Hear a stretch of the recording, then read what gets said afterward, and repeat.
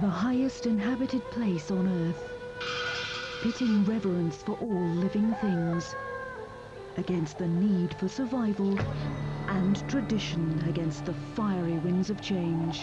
Encounter Ladakh, Desert in the Skies, tomorrow at 7 on 4. Next, Greg Dyke examines the contentious relationship between television and sport. But who are the winners and losers in this tough, money-driven market? And is it really fair game?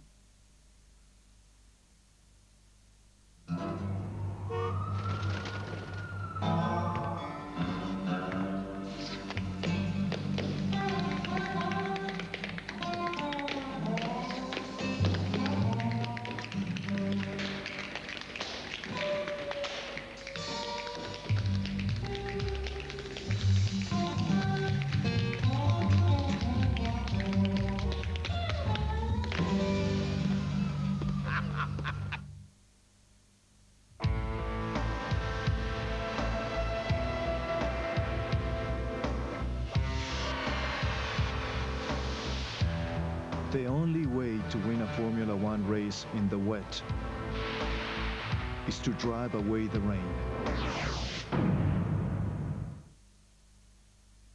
Squids, we got snake big time in Barneyland. They dream green room. We sent shore slop. Holmes, let's get aggro on IBM stick before we get churned. We'll bust the lip, get locked in the barrel, and we won't need a swami to keep us from going over the falls. Are we talking triple concave? Nectar. All the way. Pure guava. These lineups have been totally glassy since they chilled on the seal.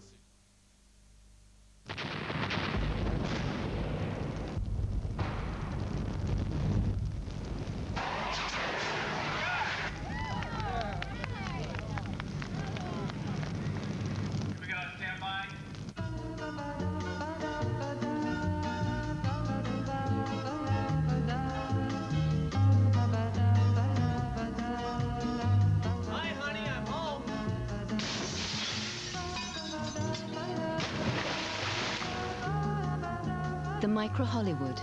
Ask before you borrow it.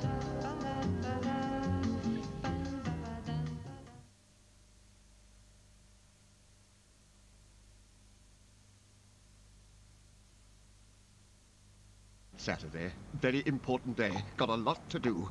Need to look my best. Oh, that's better. Visiting cousin Jessie. Got any racing tips? Got to be ready by half past one for the event of the year.